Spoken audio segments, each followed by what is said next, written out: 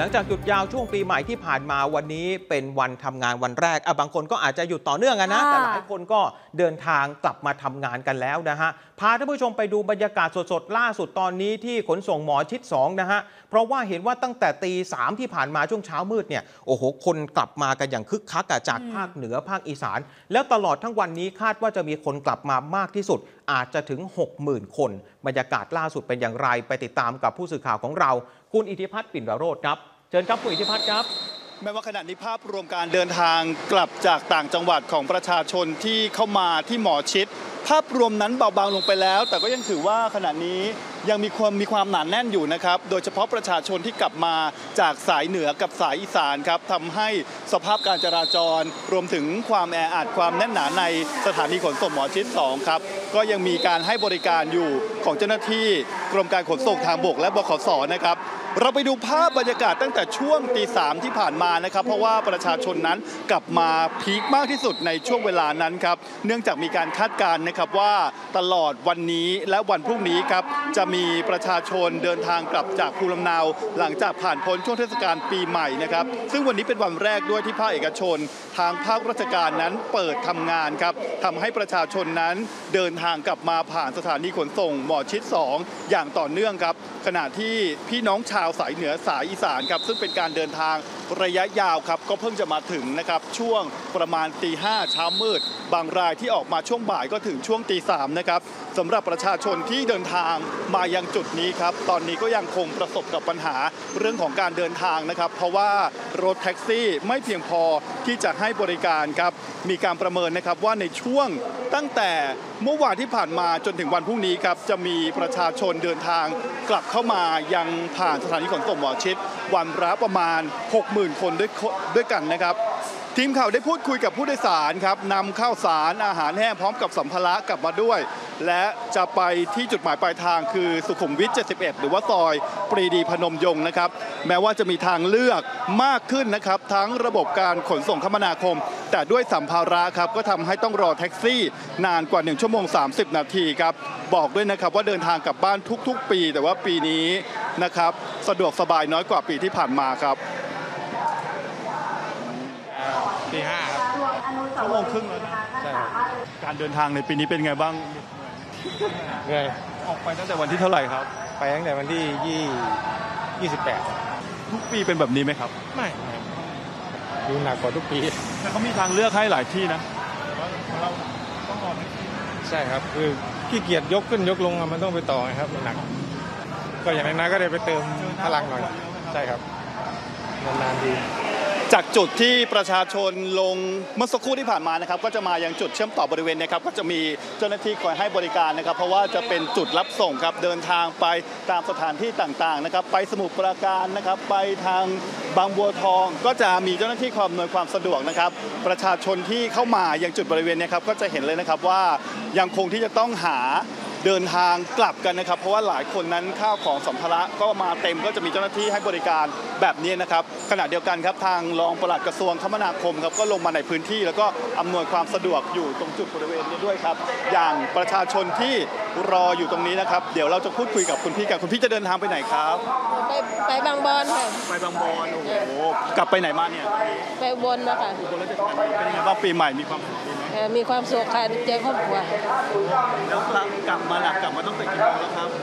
เออเพิ่งมาถึงค่ะเจ็ดเจ็ดโมงช่วงกลับเห็นมีเรื่องของดราม่าปัญหาสถานีขนส่งที่ให้บริการแล้วก็หนาแน่นแออัดเรามองอย่างนั้นไหมตอนที่ตอนที่เรากลับเนี่ยไม่ค่ะถือว่าเดี๋ยวดีค่ะแล้วนี่รอกี่ชั่วโมงอะเออเพิ่งเพิ่งมาถึงค่ะก็ถึงเลยค่ะเหน็ดเหนื่อยเพลียขนาดไหนกับเออก็ก็ไม่ไม่มากค่ะเพราะปกติมีข้อ เสนออะไรเกี่ยวกับเรื่องของการให้บริการของระบบขนส่งในประเทศไทยบ้างหรือว่าที่หมอคิดสองบ้างเออพิมพ์ไม่ออกอยากให้มีบริการยังไงบ้างครับค่ะนี่มีการเชื่อมต่อเวลาขากลับไป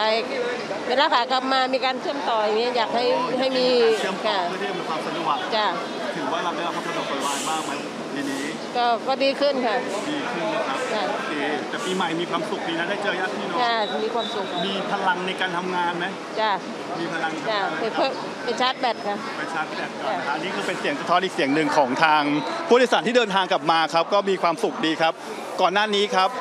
เราได้พูดคุยกับทางรองปลัดกระทรวงคมนาคมนะครับซึ่งเปิดเผยเกี่ยวกับเรื่องของแผนอำนวยความสะดวกต่างๆ ก็จะเห็นนะครับว่าตอนนี้มีเจ้าหน้าที่เนี่ยนะครับที่อำนวยความสะดวกนะครับอยู่เป็นจำนวนมากเลยทีเดียวครับ ทางรองปลัดกระทรวงคมนาคมครับบอกกับทีมข่าวนะครับว่าวันนี้ครับจะมีประชาชนเข้ามา มากที่สุด แล้วก็วันพรุ่งนี้อีกหนึ่งวันในภาพรวมนะครับ มั่นใจว่าจะอำนวยความสะดวกประชาชนที่จะกลับบ้านได้อย่างรวดเร็วครับ แล้วก็ปลอดภัยด้วยครับ ไปฟังเสียงของรองปลัดกระทรวงคมนาคมครับ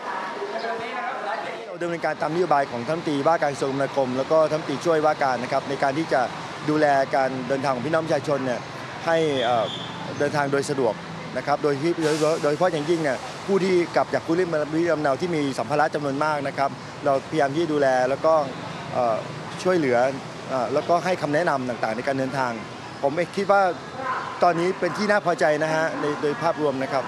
วันนี้เรามีรถขอสมกเชื่อมต่อทั้งในส่วนของอ BDS ที่หมอชิดที่สถานีกลางบางซื่อนะครับ ซึ่งก็หมุนวนเป็นวงรอบ นอกจากนี้มี 12 สายที่เดินทางไปตามจุดต่างๆนะครับแล้วก็เราเชื่อมั่นว่าวันนี้การเดินทางตลอดเช้าเนี่ยคงจะออกมาในภาพรวมที่ที่ค่อนข้างดี อย่างขาออกจะเห็นว่าไม่มีปัญหาเลย ไม่มีคนตกค้างเลย แล้วก็ในส่วนขาออกเนี่ยไม่มีอุบัติเหตุเลย จากรถสาธารณะในส่วนของบกสรถร่วมทั้งหมด ซึ่งก็พอเป็นที่พอใจอันนี้เป็นตามนโยบายกระทรวง ที่เรากำชับแล้วก็กำกับกำชับมาตรการต่างๆก็เข้มงวดนะครับ อันนี้เรานอกจากมาลงที่สถานีขนส่งหมอชิดแล้วนะครับ ยังอำนวยความสะดวกครับ ให้รถโดยสารไปลงที่สถานีกรุงเทพอภิวัตนะครับ เชื่อมต่อรถไฟครับ แล้วก็นำรถ โดยสาร 12 เส้นทางครับมาจอดณจุดบริเวณชานชาลาอย่างจุดนี้ครับเพื่อที่จะให้ประชาชนกลับบ้านได้อย่างรวดเร็วเชื่อมต่อในระบบอื่นๆนะครับและจุดที่คุณผู้ชมได้เห็นภาพสดๆณเวลานี้ครับนี่เป็นประชาชนส่วนหนึ่งที่กำลังรอการให้บริการของแท็กซี่ครับแม้ว่าจะมีทางเลือกเพิ่มมากขึ้นนะครับ แต่ว่าประชาชนหลายคนครับมีข้าวของสัมภาระอย่างเช่นแบบนี้นะครับ ก็ขึ้นรถโดยสาร รถขนส่งไม่สะดวกนะครับก็ไม่ขึ้นรถไฟฟ้าไม่ขึ้นรถเมล์ครับอย่างผู้โดยสารรายนี้ครับก็จะมีสัมภาระเยอะแบบนี้ครับก็จะต้องใช้รถแท็กซี่ ตอนนี้เราก็จะเห็นนะครับนอกเหนือจากการให้บริการของรถแท็กซี่ครับทางบขสครับก็อนุญาตให้รถโดยสาร3ล้อ หรือว่ารถตุกๆนั้น มารับประชาชนในพื้นที่ยังจุดบริเวณนี้ หากเปรียบเทียบกับปีที่ผ่านๆมานะครับ ซึ่งประชาชนที่รอรถแท็กซี่เนี่ย ถ้าดูวิวัฒนาการหรือว่าในแต่ละปีนะครับในปีนี้ค่อนข้างที่จะมีความหนาแน่นของประชาชนน้อยกว่าปีที่ผ่านมาครับโดยเฉพาะตัวเลขการเดินทางในปีนี้ทางปลัดกระทรวงคมนาคม รองปลัดกระทรวงคมนาคม เปิดเผยนะครับว่ามีตัวเลขการเดินทางกลับภูมิลำเนาของประชาชนที่มากกว่าช่วงของเทศกาลในช่วง 3-4 ปีที่ผ่านมาที่ประเทศไทยเผชิญกับปัญหาเรื่องสถานการณ์โควิด -19 นะครับและนี่คือบรรยากาศครับล่าสุดที่สถานีขนส่งหมอชิด2กลับไปที่ทั้งสองท่านครับ